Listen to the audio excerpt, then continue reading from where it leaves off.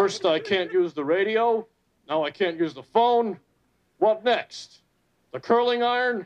Your toothbrush? You use my toothbrush? Yours is the green one, right? It was. All right, what's the big deal? I'll use Kate's. You're not using anybody's toothbrush. Okay, no toothbrush. What about the radio? All right. Just don't put it in your mouth. Thanks. I'll be through in a minute. As soon as I contact Air Force One. The president's plane? Mm-hmm. no, no, you can't do that. Willie, it's my duty.